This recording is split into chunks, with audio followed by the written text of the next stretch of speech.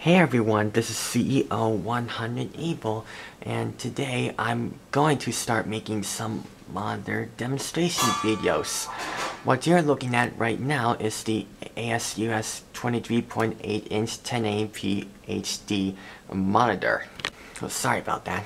My camera keeps moving on my tripod because it appears to be loose. And it's it's a very good quality monitor for, for high definition stuff and the computer that I want to test this on is my HP Pavilion P6230F PC. Yep, now that I have a Windows 10 computer, a custom built one, this is not my main computer anymore, but I can still use it to do um to do whatever I like on here. So, without further ado, let's get started. And first, let's turn this computer on.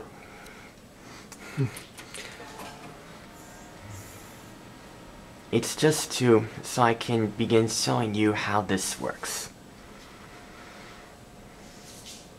There's the HP as splash screen, but there appears to be black borders on the sides. And there's the boot screen. I don't see any black borders. That's good.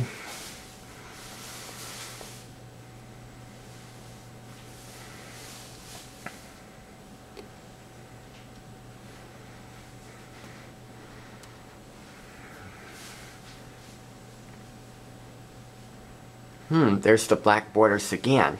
It's almost done booting up right now.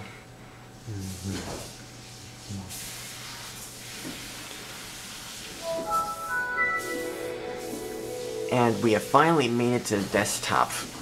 But the icons need to load up at this point. Although they actually look like they have fully loaded up, but they'll just refresh. Whoa. Sorry about that. Hmm, this looks, um, not bad, but with those black borders, um, it makes, um, this screen, um, it, makes the desktop screen kind of different, the way it's viewed. So let's go over to the control panel and see what we can do about this problem. Let's go to adjust screen resolution. Hmm, the resolution says 1920 by 1080 recommended. It has automatically switched to this recommended resolution because I mainly use a standard definition monitor on here. In case you're wondering, the monitor that I mainly use on this computer is an NEC Multisync 90GX monitor. It's a very good quality monitor and I've had that monitor for many years and good for things that are fully optimized for standard definition. Looking at this default resolution, I'm very surprised because that's the, the main resolution that this monitor is fully optimized for. And it was also because of all those some um, black borders being shown. I'm not sure why they're being shown because when I when I use this on my Windows 10 PC, which is where I mainly where I mainly use on my Windows 10 PC on, it never happened.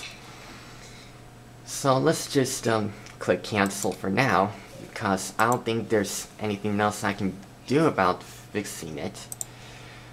So overall, not bad, but it should have been filled all the way to the edges of the actual monitor. So let's go ahead and shut down this computer because I'm done now.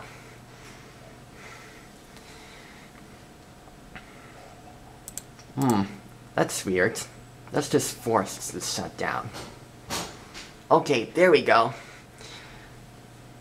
So I'm I'm only keeping this monitor up here for a little while on this old desk.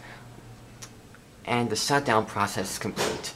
So what I'm going to do with this monitor next is to disconnect it and and take it back to my new desk so I can continue using it on my a, my Windows 10 PC, the custom built one, and then put the NEC standard definition monitor back onto to this old desk and then we connected to this computer.